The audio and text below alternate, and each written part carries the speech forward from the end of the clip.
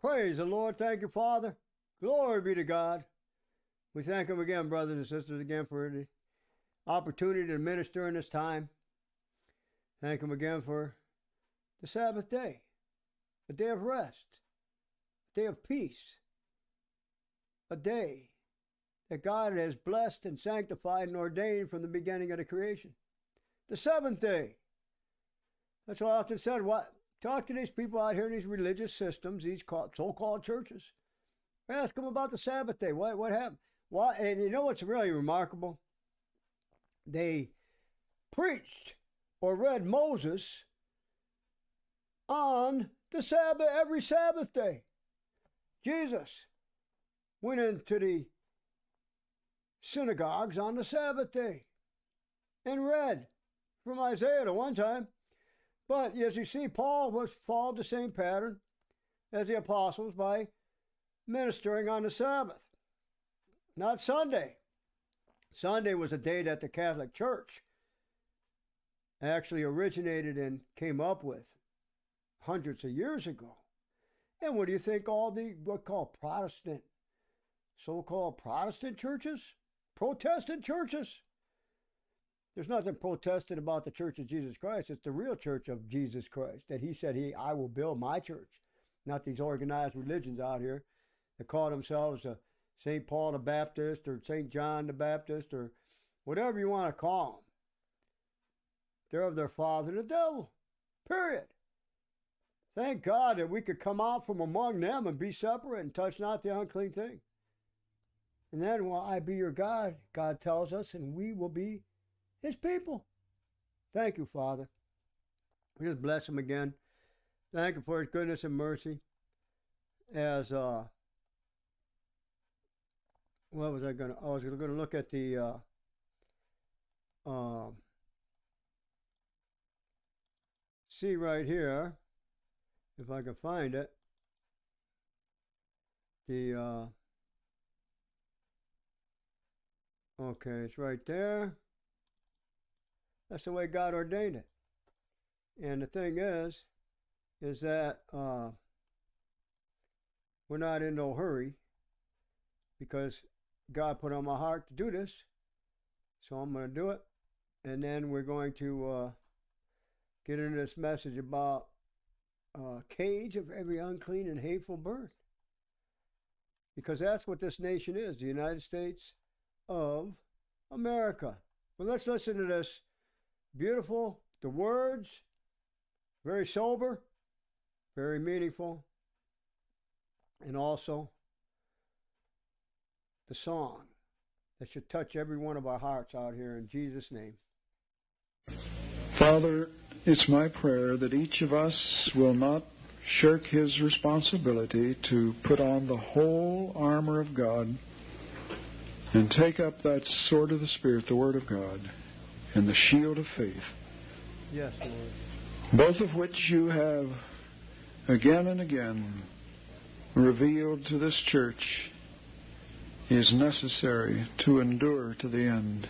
Now, I'm going to tell you what, these people out here said this guy was a cult leader and false this or that. They're a bunch of liars.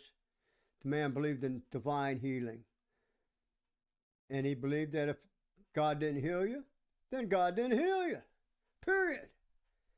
But these words here, listen to the words of this man that you've already heard, and then hear the song, and then hear the words at the end of the song, and tell me that he was a cult leader or a false prophet or whatever. You're a bunch of liars. And having done all, with the shield and the sword, we Yes. will be able to stand Thank you, Father. what is yet to come. That's the truth, Lord. May no one, Father, treat it lightly, but Right. by your Spirit,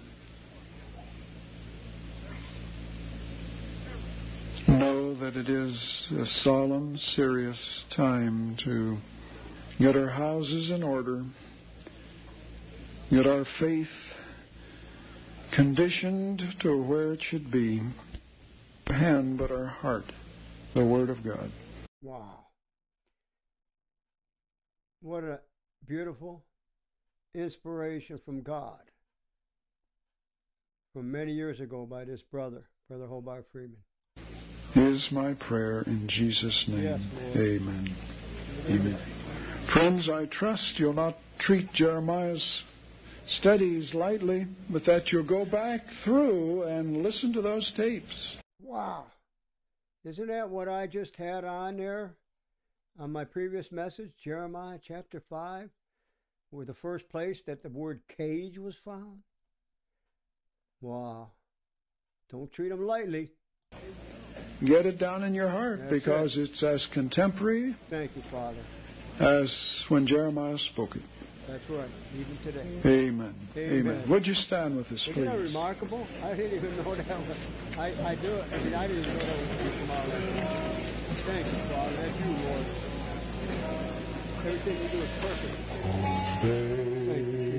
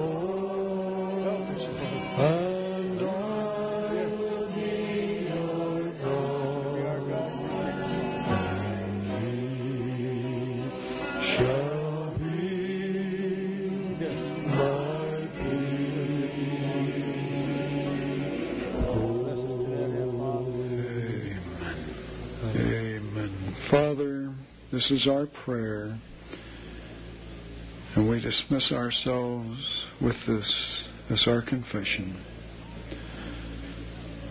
It's our desire and will to know and do your will Absolutely, and to obey you. Yes. That in that day that is so soon, that you will not be ashamed to say that you are our God and we are your people. Bless us to this end. In Jesus' name, amen. Amen. What a blessing. Thank you, Father. Bless us to this end, that you will not be ashamed in this time we're coming to, Lord, that we are your people and you are our God. Thank you, Father. Just like it says in the scripture, it talks about when he shall appear, we shall not be ashamed before him at his coming. We thank God again for the power of the Holy Spirit and the power of God's Word. He upholds all things by the power of the Spirit of His Word that He has. Thank you, Father. Now let's uh, go to. Never now. He's t- Hobart Freeman talking about Jeremiah. Don't treat him lightly. It's just as important today it was as it was when Jeremiah spoke it. Just like I talked about the harvest, and he reserves on us the appointed weeks of the harvest, which is the end of the world. There's only one harvest. That's the end of the world. The end of the world is the harvest. And then it goes on. It's just as, as contemporary, just as as sobering as when Jeremiah spoke this thing. How many years ago was that when Jeremiah spoke this? From among this is God talking. From among my people are found wicked men. I went through the wicked men. uh, the last day false witness, the greatest false witness of the coming of Jesus Christ that the radio world has ever heard as far as shortwave. R.G. Stair, Ralph Gordon Stair, and then you got James Rice marrying the whore, Rose Larrabee that brought Ralph to a piece of bread, and then you got Dennis Larrabee, and the list goes on. How about Charlie Dow, Pastor Charlie Dow up in Tennessee? Talk about a wicked man. He's not living a holy life, led by the Spirit of God. How about Hulk Hogan or Kanye West or, uh, well, let's get on with this. Hey, look at Jeremiah now, what Hobart Freeman talked about. A cage is full of birds, and so are their houses full of deceit. As a cage is full of birds, so are their houses full of deceit. And that's why I mentioned the house of the overcomer has been filled with deceit for quite a few years. And that ain't the only one. That's just a small example. A small example of the millions and billions of people that God has given a strong delusion to believe a lie in this hour we live in. Let's get to Revelation 18 because I want to get to the uh, some things that are going on again. In the, and it describes it here in Revelation 18, the United States of America. In verse 2, he cried, this strong angel, saying, Babylon the Great is fallen and has become the habitation of devils and the hold of every false spirit. You tell me the United States is not being transformed by these kind of spirits in the hour we live in? It hasn't quite come to the full yet, but it will be not too long in the near distant future. And it's going to become a cage of every unclean and hateful bird. Maybe you know what I mean? A cage? It means you put something in it, it doesn't get out unless the person that puts the cage or makes the cage lets the thing out of the cage. The cage is the and like like they take birds, they stick them in a bird cage. Huh? How about a prison cell? That's a cage. And a cage of every unclean and hateful bird, for all nations have drunk of the wine of the wrath of her fornication.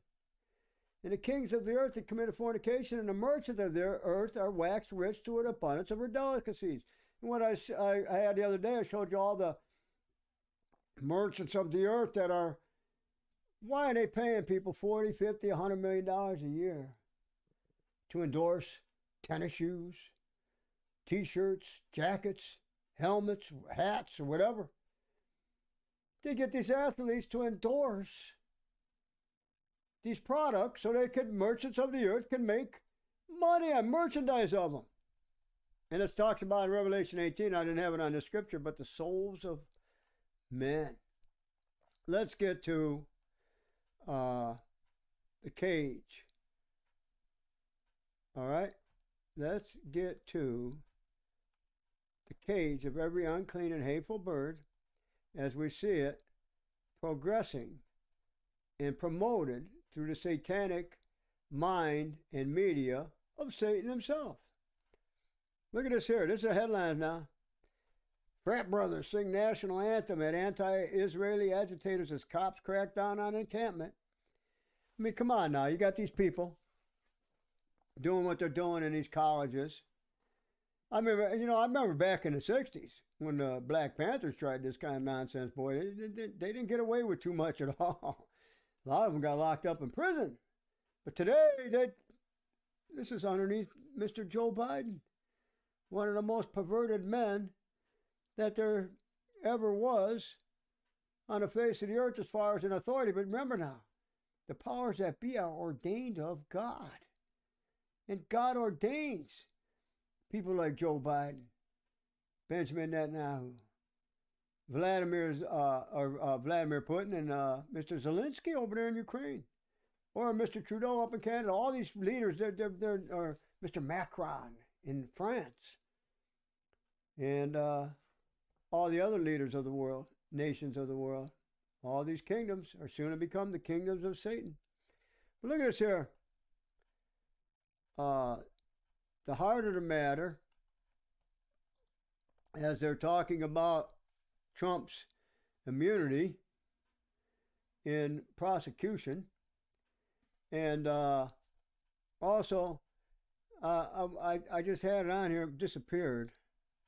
It's amazing how that disappeared where Joe Biden was. Uh, I wonder why they took it off of there. Isn't that very strange? Let's see if we can punch that up again on here. Yeah, they took it off. Joe Biden met with Howard Stern, one of the most perverted, foul mouthed people that ever had a radio broadcast. Foul language, perverted spirit. He's been doing that for years. But Joe Biden gave him an interview. Hey, birds of a feather, feather, as they say, flock together. Joe Biden, in fact, he was lying about some, uh, some things on there that even CNN and all these so called satanic media outlets took issue with Mr. Biden. But remember now, Mr. Biden has been given a strong delusion to believe lies. He's a liar. That's all he does is lie. And then people just, why not? Because the, the whole world lies in wickedness. But let's look at some of this media stuff here. This is important news now. Joe Alt's girlfriend. Reaction to NFL draft has the internet talking, cracking jokes. Uh, see what I'm talking about? They, they got the, the sports takes over. Um, NFL team told to pay for their own stadium, taking billions from taxpayers' money. And then you, if, and then that's, uh, I believe that I'm, I'm not sure where that was. Chicago. Let's see where that is. Yep, Chicago Bears. Then you got social media disturbed by Noem's story about shooting 14 month old dog. I mean, here's the this is news now. Well, like I'm telling you, it's a satanic mind manipulation and distortion and distraction to destroy your minds. Look at this here Ramstar pushing for more guaranteed money as part of contract. These guys don't work a day in their life. They play games. They play games with balls. Football, basketball, baseball. How about soccer? They kick a ball around and call they call that football in Europe, but it's called soccer. Then you got Harvey Weinstein with his sexual perversion being uh, in the forefront of news. Then you got vacation time. Remember now, a cage of every unclean and hateful bird, but a, a foul spirit. Let's look at that scripture again. It's become the habitation of devils and the hold of every foul spirit. The hold of every foul spirit. That's what you're seeing here on the media. Foul spirit. Soprano Star says many in Hollywood are secretly against Biden's social agenda. Hollywood. Wow. Former NFL player.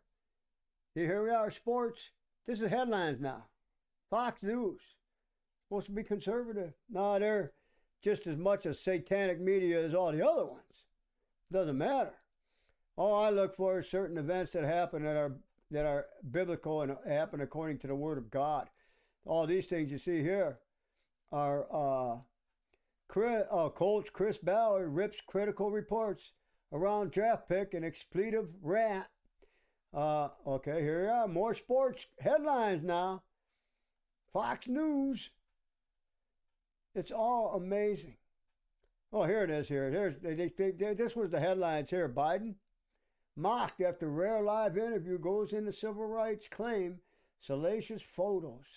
Now, the thing is, that was the headline here about oh maybe an hour ago. Now it's knocked down a list a little bit because they, they had other people singing the national anthem at the anti-Israeli uh, takeover of some of these colleges. But Biden, why wouldn't he have an interview with a, a foul mouthed devil like Mr. Howard Stern? Because they're both the same. They got they're of the same spirit. Period. But that's the kind of perversion that the world, the, the politics, the, the entertainment, it's um, just like the scripture said is the habitation of devils and a hold of every foul spirit. You tell me that uh, Mr. Howard Stern and Joe Biden don't have a foul spirit? In a cage of every unclean and hateful bird, talk to them about truth and see what kind of answers come out of them people's mouths. You see, because judgment is not executed speedily. Therefore, it's fully set in the heart of the sons of men to do evil, talk evil, speak evil, think evil. Because God, for some, somehow they think that he there, there is no God. That He's just letting them do what they're doing because that, that's just the way it is. When in the end, they're going to stand at the white throne judgment. Period. Every man. It's appointed on a man wants to die, and then the judgment. Either you're going to be judged at the seat of Christ or at the throne of judgment in the end after the thousand years. Okay, here's another one. New York versus Trump's first witness makes revelation about Tiger Woods sex scandal. Then you got Trump talking about RFK Jr. and uh, uh, okay, we oh, college, college uh, frat guys show how to properly deal with pro Hamas nonsense. Anti Semitism exposed. And then you got this singer, Zac Brown, and and, and I mean, it just it, it's just the perversion of this generation. Like I said, I, I I'll scan through the news like I do just to see what's going on by the Word of God. See what's going on over in the Middle East. See what's going on with China, Russia, the United States, and the Book of Revelation. Because don't leave out the Book of Revelation, where it talks about masses of people being killed at a certain point in time. And it's going to happen. Just like the fourth horse, a sword was given him to kill. To kill with the sword and with death and with famine and the beast of the earth. I mean, there's I, I, I, Lord's put on my heart to actually focus on those places where He already spoke of what's going to actually transpire in the very near future, where billions of people are going to die very rapidly. And then we'll get to a place in the book of Revelation where it says men will seek death, and death shall flee away. See, God is the only one that has power over life and death. Mankind thinks they got power over life and death, but it's God that allows people to kill one another. It's a God that keeps people from killing one another. Just like I mentioned before about the spirit of suicide, that's of the devil. That's a satanic spirit, period. Everybody that I, I mean, basically, probably everybody on the face of the earth has been tempted by the spirit of killing themselves. Why not? Satan comes to kill, to rob, and destroy. And why wouldn't he put that kind of temptation to people? Hey, things ain't going the way they should. Hey, I remember when I was, before I had the born again experience, how I felt many times I just wanted to kill myself because things just weren't going the way I thought they should be. But then God had me born again by the Spirit around the time of March the 27th, 1993. And ever since then, the only thing I would say to God is just like Elijah. I said, Take my life, Lord. Take my life. It's enough. I mean, basically, in, in any any true Christian, when you get weary of this world and tired of it, you'll ask God, "Come on, Lord, take me out of here," because it, it, it's all vanity. In that sense, it's vanity. When God puts things together, like I mentioned about our garden and the land we live on, that's not vanity. But when you begin to trust in yourself outside of God, then He'll bring a little tribulation here or there to make you say, Lord, it is enough. Get me out of here. And then He'll deliver you from that and show you that godliness is profitable for this present life we live and the one to come. And if we live godly, He will deliver the godly out of temptation. And it's like James said, Blessed is the man who endures temptation, for when he is tried, he shall receive the crown of life. That the Lord is going to give to them that love Him and obey Him. Just like we started out this message with obey my voice, we all need to obey the voice of God. Period. And that's given to us through His Spirit and by His Word. He'll use His Word. We're reading it, hearing it. He'll use His Word to administer instructions in righteousness, that we may be truly furnished perfect unto all good works. So may God bless the word of your heart. May He keep you in this hour of perversion and seduction and sorcery from the media because the media is so perverted and corrupt. It's just amazing. I mean, I can't even, like, it's getting less and less now for me as far as that goes. I could look at the media for maybe 20 seconds. That's it. And I, I could see, I could see where things are and where they're going. The lies put out, the way they put out hateful and unclean thoughts. Oh, this person said that, that, blah, blah, blah. To get you to feel ill or have malice because of what they're putting out about this person or that person. Trump said this, Biden said that. It's just a bunch of, it, it's all controlled by Satan. That's the whole key. You see, Satan is going to have full control over the whole world for three and a half years or 42 months, just like it said in Revelation and Apostle Paul talked about in Second Thessalonians chapter 2. So you better be grounded, firm and deep in the Savior's love and in His Word in this hour we live in. In Jesus' name is my prayer. Till we meet again. Amen.